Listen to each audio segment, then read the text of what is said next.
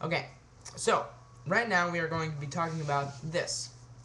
Now, this is a belt, and it is quite long, but it has to be for quite a good reason.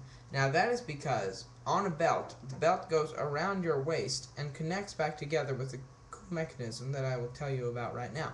So, first of all, the belt. It is mostly a classy item uh, because the pants that men and women wear, what ends up happening is the pants are too um, loose. So the belt holds it up for you.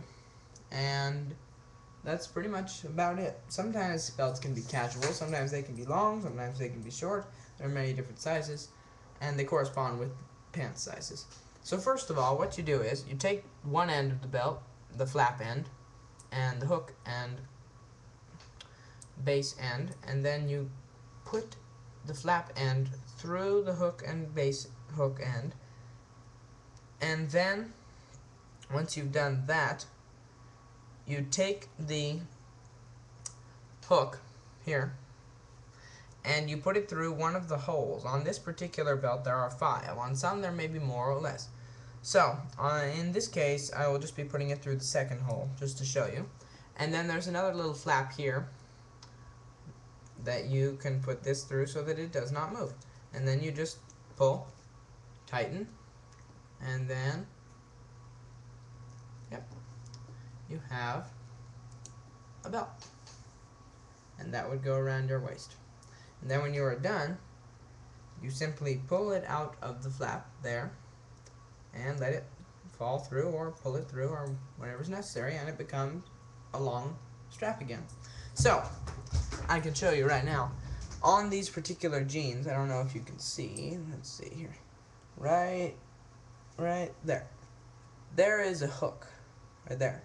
That is on jeans and most classy pants. And what you do is, you take that, the flap end, and you put it through the hooks, and the hooks go all the way, all the way around the body. And once you've done that, you just pull it through, around through the hooks. Now, since these pants are tight, I don't even really need to do this, but we'll just see anyways. So we come through here, through that hook, and sometimes you can feel your way for the hooks. Let's see, right there.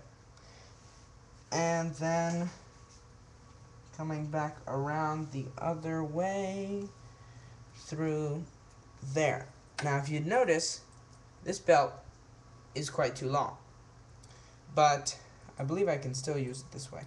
So what you do is, you take this part, you put it through the belt buckle, as I showed you, and then you just select a hole, put it on the hole, put it through the flap, and your pants are tight for you.